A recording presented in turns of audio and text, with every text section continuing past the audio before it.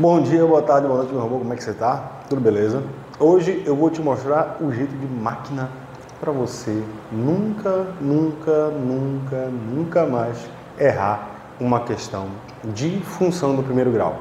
Então fica de olho que depois da vinheta tu vai ver todos os jeitos possíveis de você montar uma equação do segundo grau sem errar nunca mais do jeito de máquina. Então deixa logo o like aí, se inscreve no canal se estiver chegando agora que hoje o vídeo é bom. Vem comigo, vamos lá.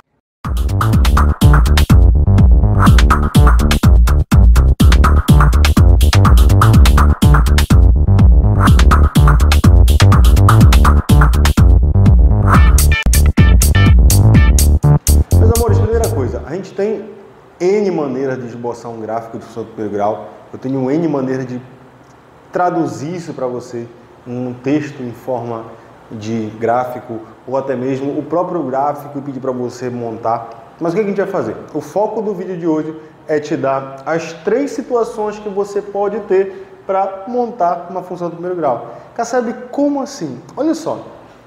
Esse daqui é o modelo clássico, você deve estar de olho, você deve ter visto várias vezes no teu livro, onde eu estou te dando dois pontos dentro de uma função.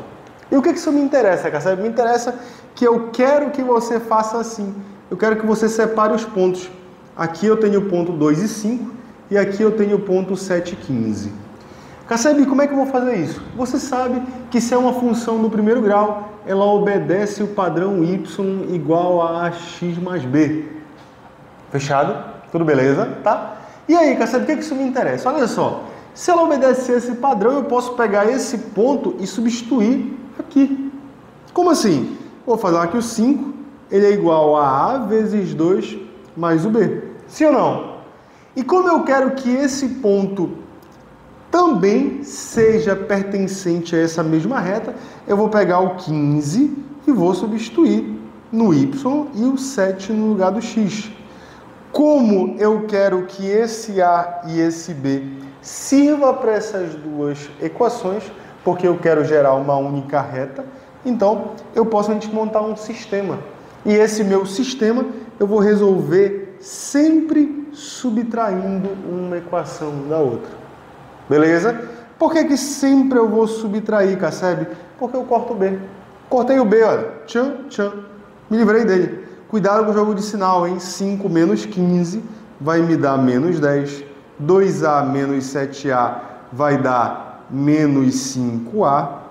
Logo, se eu multiplicar por menos 1 dos dois lados, eu posso passar o 5 que está multiplicando o A para cá dividindo, e eu tenho que o meu A vai dar 10 sobre 5, logo o meu A ele vale 2.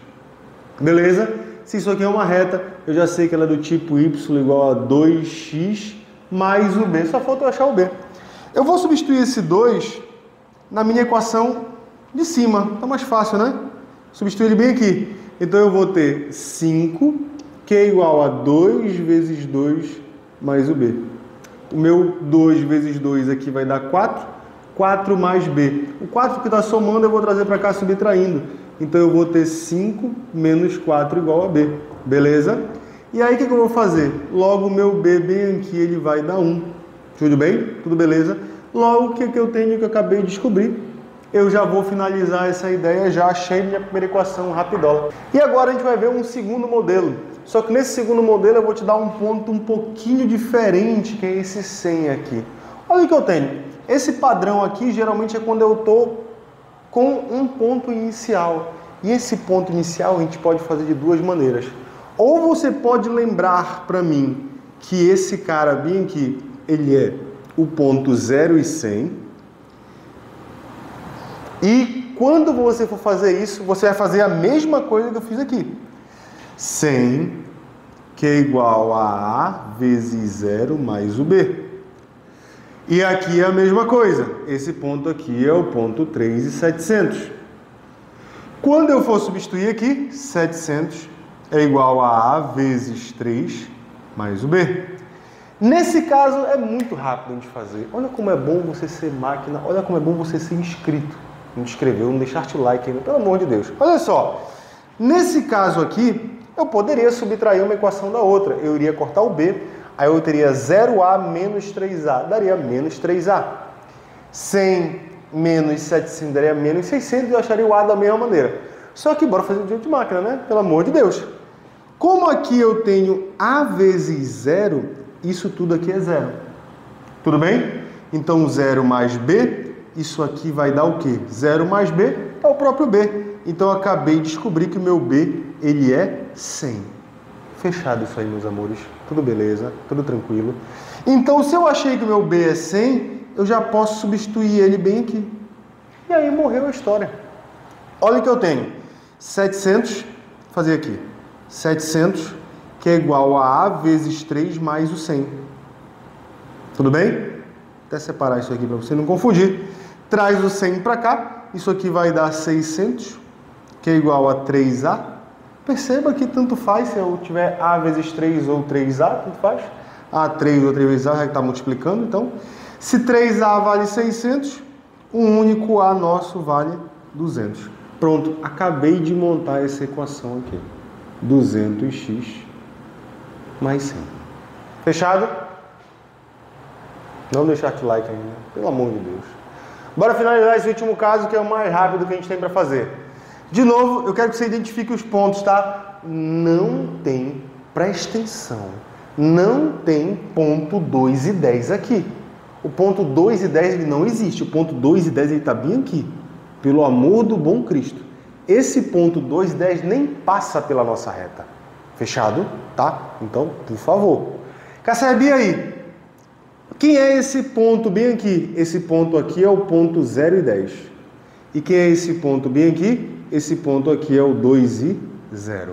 O que a gente vai fazer agora? A mesma coisa que a gente estava fazendo aqui antes. Olha só. Toma cuidado que esse ponto aqui, ele é o ponto 10, que é igual a A vezes 0 mais o B. Então, logo, se aqui vai dar 0, você já sabe que o nosso B, ele é 10. Lembrando, tá? O B é o ponto de corte no eixo Y. Então, sempre que você tiver o ponto de corte no eixo Y, que é o que eu tenho aqui e o que eu tenho aqui, eu já posso falar que é o nosso B direto. Fechado? Tudo tranquilo? Tá? Então, não tem mistério. E aí, esse ponto bem aqui eu já posso até fazer direto. 0 que é igual a A vezes 2 mais o B. Nosso B, eu já sei que ele é 10. E aí eu vou só substituir. 0 que é igual a A vezes 2 mais 10. Traga o 10 para cá, vai vir negativo. E o nosso A é igual a 2. Então, se eu tenho dois A's vale menos 10, um único A ele vale menos 5.